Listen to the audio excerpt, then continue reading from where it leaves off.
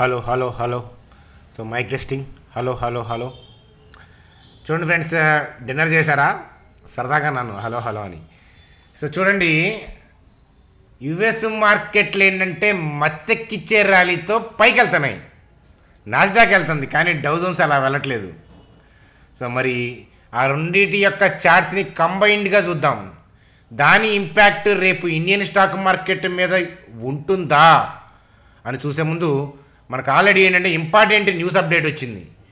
So మన కంట్రీకి సంబంధించిన జీడిపి అవుట్కమ్ అంటే క్యూ త్రీకి సంబంధించిన జీడిపి అవుట్కమ్ సూపర్గా రావడంతో సో ఓవరాల్గా ఫినాన్షియల్ ఇయర్ ట్వంటీ ఫోర్కి సంబంధించి ఎస్టిమేట్స్ని ఏంటంటే సూపర్గా రైజ్ చేశారు. సో దాని మీద నరేంద్ర మోడీ గారు అంటే మన ప్రధానమంత్రి గారు చేసిన కామెంట్స్ ఏంటి? రేపు మార్కెట్కి బూస్టింగ్ అవుతుందా?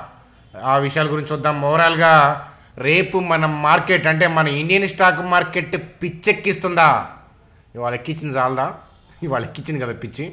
సో మరి రేపటి దాని పరిస్థితి ఏంటి అంటే నిఫ్టీ బ్యాంక్ నిఫ్టీ యొక్క చరిత్ర ఏంటి? రేపటి చరిత్ర ఏంటి? సో ఆ విషయాల గురించి చూస్తూ అలాగే బయోకానికి సంబంధించిన ఇంపార్టెంట్ న్యూస్ ఇన్ఫర్మేషన్ ఉంది. అదేంటో చూద్దాం. అలాగే మిరాకిల్ వీడియోలో ఒక కామెంట్ చూశాను. సో ఏమని అని అంటే యూపీఎల్ సో యూపీఎల్ స్టాక్ని నిఫ్టీ ఫిఫ్టీలోంచి ఎత్తేస్తున్నారు. మరి మనం రీసెంట్గా ఇన్వెస్ట్మెంట్ చేసాం పడిపోద్దాం మరి? పడిపోద్ది అంటున్నారు మరి ఏం చేయాలి? ఏం చేయాలో ఇప్పుడు చెప్తాను.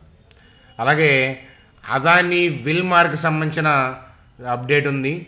సో ఇలాంటి అప్డేట్స్ చూస్తూ సో పెద్ద థింగ్స్ ఏం లేవు వీడియోలో డిస్కస్ చేసుకునేవి జనరల్గా క్యాజువల్ మీటింగే అనమాట సో నిఫ్టీ బ్యాంక్ నిఫ్టీ యొక్క చార్ట్స్ లైవ్లో యుఎస్ మార్కెట్స్ చూస్తూ హాయిగా వీడియోని క్లోజ్ చేసి నిద్రపోదాం. చూడండి ఫ్రెండ్స్ వీడియోలోకి వెళ్ళే ముందు మన ఛానల్ వీడియోని లైక్ చేయడం అనేది మన జన్మ హక్కు.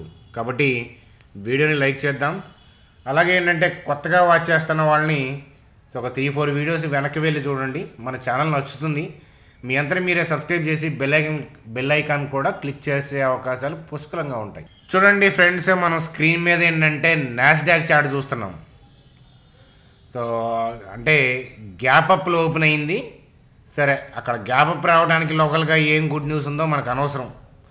సో గుడ్ న్యూస్ ఉన్నా లేకపోయినా గ్యాప్ అప్ అయితే అయ్యింది సో గ్యాప్ అప్ అయ్యి ప్రస్తుతానికైతే కనుక point five three percentage rally అయ్యింది సో అట్లాగేంటంటే మీరు ఈ వీడియో చూసేటప్పటికి కిందకి డిప్ అయిపోయింది అనుకోండి. సో కొంపేదో మునిగిపోయేది అనుకోవద్దు అనమాట సో ఇన్ఫ్యాక్ట్ నిన్నటి లో కన్నా కిందకు వచ్చిన యుఎస్ మార్కెట్లు ఏం కాదు అది ఆల్రెడీ నిన్ననే మీకు చెప్పాను ఇక్కడ హ్యూజ్ గ్యాప్ ఉంది కదా. దానికోసం ఆ గ్యాప్ని ఫిల్ చేయడానికి ట్రై చేస్తున్నారు. బలవంతంగా కిందకి లాగాలని కిందకి గుంజాలని చూస్తున్నారు కానీ వాళ్ళ ఇంటెన్షన్ కిందకి వెళ్ళే ఉద్దేశం కాదు. అదేంటి? కిందకి గుంజాలంటున్నావు. మళ్ళీ వాళ్ళ ఇంటెన్షన్ కిందకి కాదంటున్నావు. ఇదేంటి? సో ఆడుగా ఉందనిపిస్తుందా? అంటే వాళ్ళ ఇంటెన్షన్ అంటే ఏంటంటే మార్కెట్ యొక్క డైరెక్షన్ కిందకి తీసుకెళ్ళాలి. చెడని వాళ్ళ ఒపీనియన్ కాదు. అంటే కిందకేదో వెళ్ళిపోతాం ఇక్కడ నుంచి వాల్యుయేషన్ పాయింట్ ఆఫ్ వ్యూలోనో ఇంకొక బ్యాడ్ న్యూస్ అని కాదు. కాకపోతే అంతకుముందు ప్రీవియస్గా ఏంటంటే ఈ డోజీ క్యాండిల్ నుంచి గ్రీన్ క్యాండిల్ చూడండి. గ్యాప్ అప్ ఉందా? సో ఆ గ్యాప్లో ఆర్డర్స్ చాలా ఉండిపోతాయి. వాటి కోసం వస్తారనమాట సో అంటే వాటి కోసం కింద కిందకు వస్తున్నారు తప్ప సో వాళ్ళు మార్కెట్ని కిందకి మూవ్ చేసే ఉద్దేశం అయితే కనుక ఇప్పటి చార్ట్కి అయితే కనుక లేదనమాట సో అదనమాట అక్కడ నాస్డాక్లో జరుగుతుంది. డౌజోన్స్ చార్ట్ గురించి కూడా ఒకసారి చూద్దాం. నిన్న మనం చెప్పాం కదా అది రెడ్లో ఉంది. అయినా కూడా వాళ్ళ ఇంటెన్షన్ కిందకి కాదు. మళ్ళీ డౌట్ పడబాకండి. రెడ్ ఏంటి? మళ్ళీ ఇంటెన్షన్ కిందకి కాదేంటి అని. బిగినర్స్ వాళ్ళకి కొంచెం ఆడుగా అనిపించవచ్చు కొంచెం ఎక్స్పీరియన్స్ ఉన్న వాళ్ళకి నేను చెప్పేది అర్థమవుతుంది. బిగినర్స్కి కూడా అర్థమయ్యేటట్లు భవిష్యత్తులో వీడియోస్ చేద్దాం. చూడండి ఫ్రెండ్స్ మనకున్న న్యూస్ అప్డేటు సో నిన్నే అనుకున్నాం కదా ఈ క్యూ త్రీ జీడిపి నెంబర్స్ కోసం వెయిట్ చేస్తుంది మార్కెట్ అని. ఆ లోపు రీట్రేస్మెంట్ అవుతుంది కానీ ఈ నెంబర్స్ వచ్చినాక మళ్ళీ ఫర్దర్గా డైరెక్షన్ తీసుకునే అవకాశం ఉంటుందనే కదా. అలాగే ఏంటంటే సో లోయర్ లెవెల్లో లాస్ట్ అవర్స్లో బయింగ్ అబ్జర్వ్ చేశాను. అందుకనే మనం షార్ట్ని క్లోజ్ చేసామన్నమాట ఆ మినిమం స్టాప్ లాస్తో మనం ఏంటంటే క్లోజ్ చేసాము సరే చార్ట్లో చెప్తాను అది సో ఇక్కడ జీడిపి నెంబర్స్ ఎలా వచ్చాయంటే ఎయిట్ పాయింట్ ఫోర్ పర్సెంటేజ్ చూడండి ఎస్బీఐ వాళ్ళు నిన్న ఎస్టిమేషన్ ఇచ్చారు. అలాగే మీకు ఎగ్జిట్ పోల్స్లో అంటే మీడియా పోలీసులు అట్లాంటి వాటిలో చూస్తే six point eight six point nine అట్లాగే ఉంది. కానీ రోబస్ట్గా ఏంటంటే eight point four percentage GDP నెంబర్స్ని post చేశారనమాట సో అంత స్ట్రాంగ్గా పోస్ట్ చేసేటప్పటికి ఇంకా నెక్స్ట్ ఓవరాల్గా ఏంటంటే ఇంకా ఓవరాల్గా ట్వంటీ ఫోర్ ఇంకో క్యూ ఫోర్ రావాలి కదా. ట్వంటీ ఫోర్కి సంబంధించి ఏంటంటే ఎస్టిమేట్స్ అనేవి పెంచేశారనమాట అలాగే సో మన ప్రైమ్ మినిస్టర్ అయిన నరేంద్ర మోడీ గారు ఇక్కడ కామెంట్ చేశారు చూడండి. So eight point four percentage GDP పెరగటం so strength of the Indian economy and its potential అని చెప్పి చెప్తున్నారనమాట పాజిటివ్ కామెంట్గా చూడొచ్చు అనమాట our efforts will continue to bring fast economic growth which shall help one forty crore Indians lead a better life and create విక్ Viksit Bharat. So Viksit Bharat. So ఓవరాల్గా ఏంటంటే అంటే నేను తెలుగు మీడియం కదా అందువల్ల అలా చదివాను. సో చూడండి ఓవరాల్గా ఏంటంటే క్యూ త్రీ నెంబర్స్ అలా రావటం ఎకానమీకి బూస్టింగ్ ఖచ్చితంగా నేను కాదన్ కాదన్ను. కాకపోతే మార్కెట్ అందరికీ తెలిసిన పాజిటివ్ న్యూసే కదా కానీ మార్కెట్ ఇంకొకలాగా విచిత్రంగా బిహేవ్ చేస్తుంది. సో నేను పడిపోతుంది అంటలేదు. చూడండి. సో నేను చార్ట్లోకి వెళ్ళి చూపిస్తాను చూడండి. చూడండి ఫ్రెండ్స్ మనం నిఫ్టీ పాయింట్ ఆఫ్ వ్యూలో సో నిన్న డౌన్ అనుకున్నాం. అలాగే ఏంటంటే సో ఎర్లీ మార్నింగ్ ఏంటంటే ఐసిఐసి బ్యాంక్లో చాలా బలంగా అనిపించింది అలాగే నిఫ్టీ చార్ట్ ఇన్ఫ్యాక్ట్ నిఫ్టీ చార్ట్లో కూడా ఏంటంటే నేను బై వ్యూ ఇచ్చాను. మనం ట్వంటీ టూ థౌజండ్ పైన సెల్ చేద్దామని అనుకునే వాళ్ళం బై వ్యూ తీసుకున్నాము. మంచిగా ఈ twenty two thousand eighty eight వైపు వెళ్తుంది. Twenty two thousand one sixty nine కూడా వెళ్ళొచ్చు. లేదా ఇక్కడ సెల్ జోన్ ఉంది కాబట్టి అక్కడ నుంచి ఏదైనా డౌన్ సైడ్కి రియాక్ట్ అవుతుందేమో అనే పాయింట్ ఆఫ్ అనుకున్నాను ఎందుకంటే క్యాండిల్ పడే విధానం సో జనరల్గా మనం మోసం చేయదు. సో కాకపోతే ఏంటంటే సడన్గా అట్లాంటప్పుడు ఏంటంటే డెప్త్ రెస్టింగ్ జరుగుతూ ఉంటాయి. డెప్త్ రెస్టింగ్ అంటే ఏంటంటే బయర్ ఎక్కడ ఉన్నాడని చూడడానికి ఏంటంటే ఇన్స్టిట్యూషనల్ ప్లేయర్స్ కొన్ని ఆర్డర్లు వాళ్ళు చాలా మనీ ఉంటుంది కదా చంక్ ఆఫ్ మనీతో అలా అలా ఇసురుతారు. సో అలా చూడండి మీరు చూస్తే కనుక బిగ్ రెడ్ క్యాండిల్ కనిపించింది. మ్యాటర్ ఆఫ్ కొన్ని సెకండ్స్లోనే మనకి ఎంట్రీ దొరికింది స్టాప్ లాస్ కూడా కొట్టేసింది.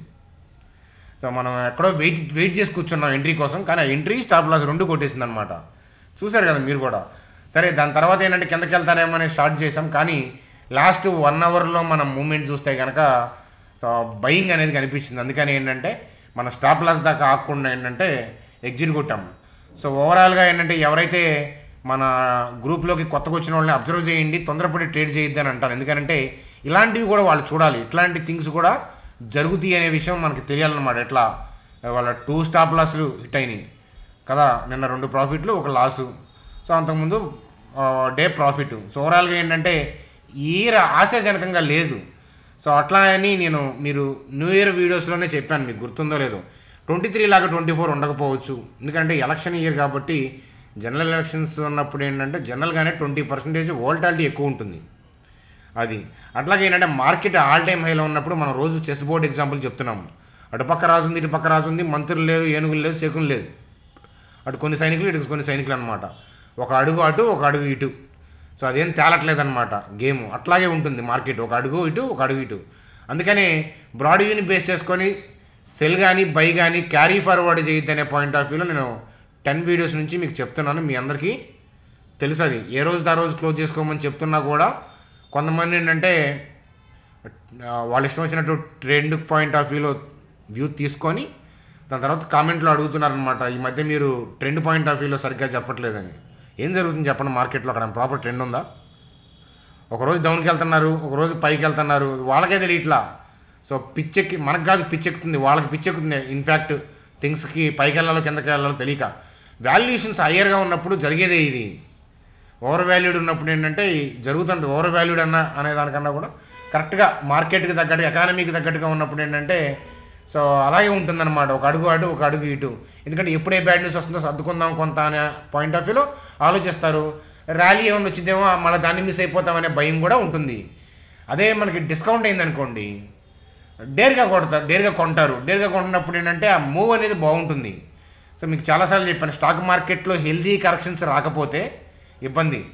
సో నేను ఇదే స్టేట్మెంట్ టూ థౌజండ్ ఫిఫ్టీన్లో మార్కెట్లు పడుతున్నప్పుడు ఏంటంటే మీడియాలో కనిపిస్తున్న టీవీ ఛానల్స్లో stock market corrections sir healthy అనే స్టేట్మెంట్ చూసామండి వీళ్ళకి ఏమైనా పిచ్చ కింద అయింది అని చెప్పి అనుకునేవాడిని. అలాగే వారన్ బఫెట్ గారు స్టేట్మెంట్లు చూసేవాడిని అనమాట buy a stock in correction అని. సో నాకేంటంటే నెగిటివ్ కనిపించేది. ఏంటబ్బా buy a stock in correction అంటున్నారు. ఎవరైనా పడిపోయేటప్పుడు ఎవరైనా కొంటారా? అంటే ఆ స్థాయి నుంచి మనం ఈ స్థాయికి వచ్చాం గుర్తుపెట్టుకోండి. ఇప్పుడు కరెక్షన్ చూస్తే మనకి పిచ్చెక్కిద్ది కదా. ఎందుకంటే మనం ఎగబడి కొంటాం. అంటే కరెక్షన్ యొక్క ఇంపార్టెన్స్ అలాంటిది. అలాగే హెల్దీ కరెక్షన్స్ అనేవి స్టాక్ మార్కెట్కి హెల్దీ కరెక్షన్స్ అనేవి స్టాక్ మార్కెట్కి హెల్దీ ఎందుకంటే డీసెంట్గా రీట్రేస్మెంట్ కానీ డీసెంట్ ఫాల్ కానీ హెవీ ఫాల్ డౌన్ కానీ వస్తే ఏంటంటే దాని తర్వాత ర్యాలీస్ కూడా మంచిగా వస్తాయి. మీకు కోవిడ్ పాండమిక్ టైంలో పడిపోయిన తర్వాత ర్యాలీస్ ఎంత భయంకరంగా వచ్చినాయో చూశారు. టూ థౌజండ్ మనం చిన్నపిల్లలప్పుడు టూ థౌజండ్ ఎయిట్ నైన్ చిన్నపిల్ల అంటే చిన్నపిల్లం కాదులే కానీ మనం two thousand eight nine market తెలియదు కదా మా చిన్నపిల్లమే కదా. ఆ టైంలో మార్కెట్ పడింది? నెక్స్ట్ ఇయర్స్ ఎలా పర్ఫామ్ చేసింది చెప్పండి. సో టూ థౌజండ్ సెవెంటీన్ చాలా మంచి ర్యాలీ వచ్చింది. Two thousand sixteen November demonetization news తర్వాత మ్యూచువల్ ఫండ్స్లో ఇన్ఫ్లో పెరిగి టూ థౌజండ్ సెవెంటీన్ అసలు పీక్స్ ఎయిటీన్ బాగోలా నైన్టీన్ బాగోలా ట్వంటీ సంగతి మీకు తెలిసే కోవిడ్ అన్- కదా? అట్లా అన్నమాట. కాబట్టి కానీ ఈ ఫాల్ డౌన్స్ తర్వాత twenty one twenty two twenty three ఎట్లా ఉన్నాయి. పిచ్చెక్కిచ్చినాయి కదా? అట్లా అన్నమాట. కాబట్టి ఏంటంటే అస్తమానం ఒకలాగా ఉండదు. ఈ పాయింట్స్ మీరు గుర్తుపెట్టుకోవాలి. అలాగే నేను ఇచ్చిన ట్రేడ్స్ అన్నీ పబ్లిక్గా మీ టెలిగ్రామ్ గ్రూప్లో ఎలా ఇచ్చానో యాజ్ ఇట్ ఈస్గా ఇక్కడ మా టీం ఇక్కడ పోస్ట్ చేసింది. అలాగే ట్వంటీ త్రీలో ఇచ్చినాయి ట్వంటీ త్రీలో ఎంత సక్సెస్ఫుల్గా మనం గెయిన్స్ ఉన్నాయో మేము చూసాము.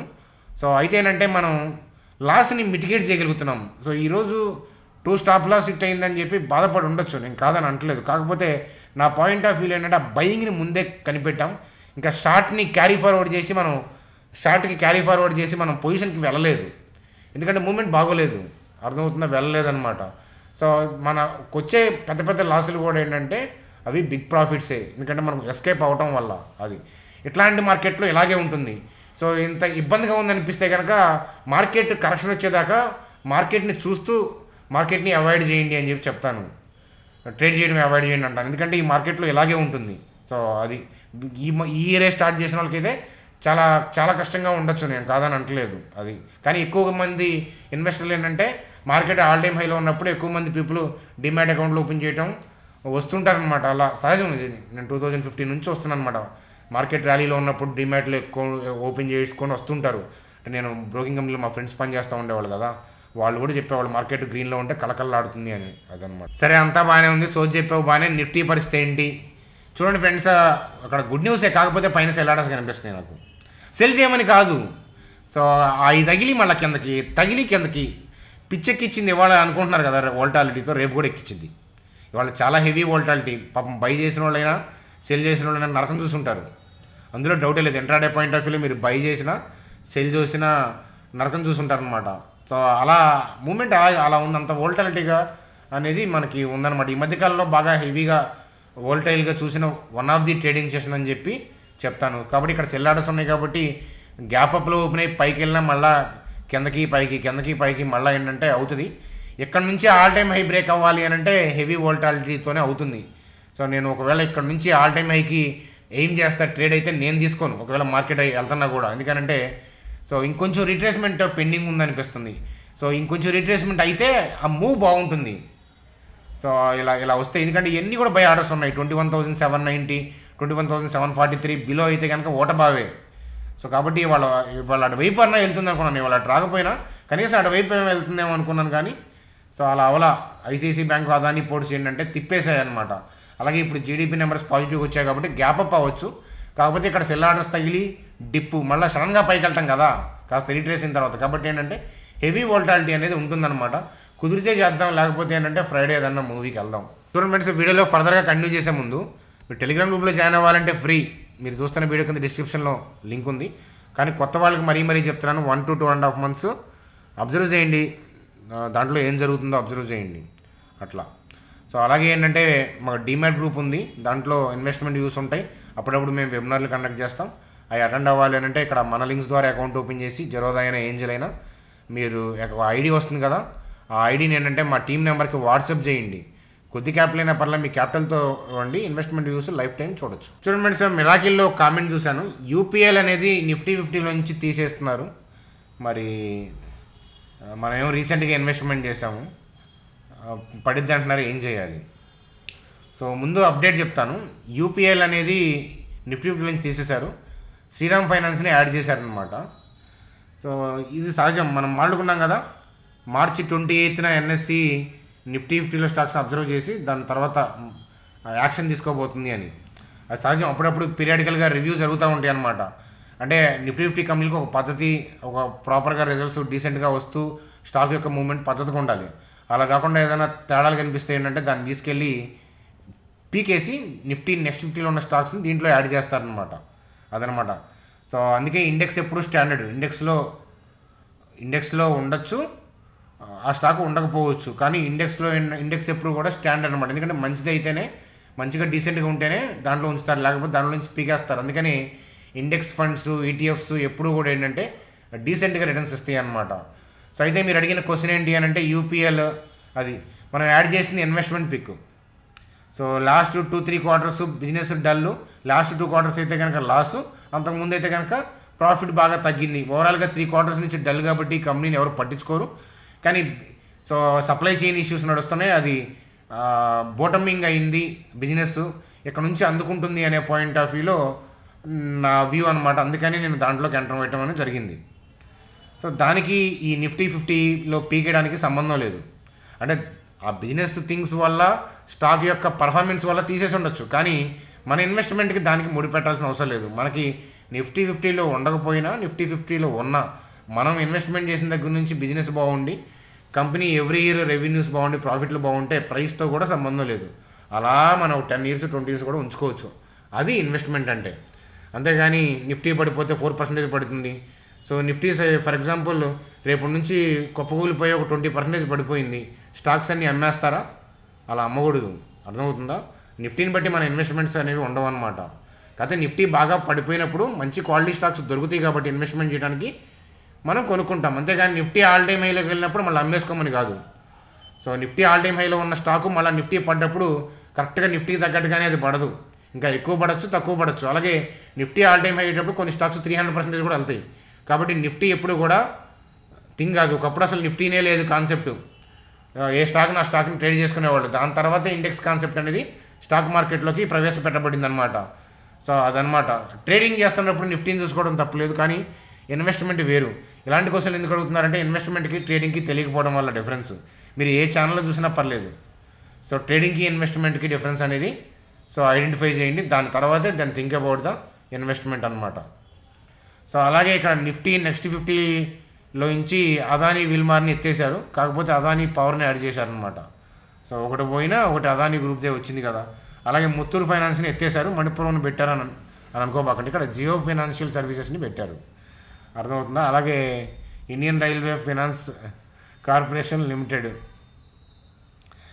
so IRFC so దీన్ని యాడ్ చేశారనమాట నిఫ్టీ నెక్స్ట్ ఫిఫ్టీలో ఆర్ఈసీని యాడ్ చేశారు. సో శ్రీరామ్ ఫైనాన్స్ని నెక్స్ట్ ఫిఫ్టీలో తీసేశారు. కానీ దీన్ని తీసుకెళ్ళి నిఫ్టీలో పెట్టారు. సో ఇక్కడ తీసేశారన్నా ఇక్కడ యాడ్ చేశారు కాబట్టి పాజిటివ్ అనమాట అది నెక్స్ట్ ఫిఫ్టీలో నుంచి వెళ్ళిపోతే కొన్ని కొన్నిసార్లు ఆ లిస్ట్లో నుంచి వెళ్ళిపోవచ్చు. కొన్ని కొన్నిసార్లు నిఫ్టీ ఫిఫ్టీలోకి రావచ్చు. అది ఆ విషయం అర్థమవుతుంది కదా? సో ఇది అప్డేట్గా చూడండి. ఫ్రెండ్స్ అలాగే బయోకానికి సంబంధించి USFDA inspection at bio campus site one facility అంట ఫిబ్రవరి ట్వంటీ నుంచి ట్వంటీ ఎయిట్కి. Form four eighty three with four observation అని చెప్పి చెప్తున్నారనమాట అలాగే మరి ఆ అబ్జర్వేషన్స్ ఇచ్చినప్పుడు comprehensive corrective and preventive action అనే ప్లాన్ టు సబ్మిట్ చేస్తామని చెబుతున్నారు. మరి కరెక్షన్ చెప్పినప్పుడు సబ్మిట్ చేస్తామని చెప్పి చెప్పాలి. సబ్మిట్ చేయాలి కూడా. అదనమాట కాకపోతే ఈ outcome of inspection does not impact manufacturing and distribution of the company products in US market మంచిదే కదా. బిజినెస్ని ఎఫెక్ట్ చేయట్లేదు. చిన్న ఇష్యూ మేము సబ్మిట్ చేసుకుని మేము క్లియర్ చేసుకుంటాంలే. మీరేం టెన్షన్ పడబాకండి అని చెప్పి వాళ్ళ మేనేజ్మెంట్ ఇన్వెస్టర్స్కి భరోసా ఇస్తున్నారు. ఆ విషయం అర్థమవుతుంది. చూడండి madam sir bank Nifty so bank Nifty కూడా ఇంకొంచెం కిందకు వస్తే బాగుండేది. సో కిందకు వస్తే నేనే బై చేసేవాడిని. అంటే buy point of view view చెప్పేవాడిని. Forty five thousand five eighty eight forty four thousand eight nought four so రేపన్నా వస్తుందేమో గ్యాప్ అప్లో ఓపెన్ అయినా కూడా సుఖం లేదు దీనికి. అర్థమవుతుందా? లవ్ మ్యారేజే కథ సుఖం లేని సంసారం. హ్యాపెన్స్ కదా. ఎందుకంటే జరుగుతుంటాయి కదా. లవ్ మ్యారేజ్ అనేది మాత్రం సక్సెస్ఫుల్గా మ్యారీడ్ లైఫ్ అని ఉండాలని ఉంటుందా? ఉండదు. ఇద్దరు కలిసి ఉన్నప్పుడు కథ వేరే ఉంటుంది.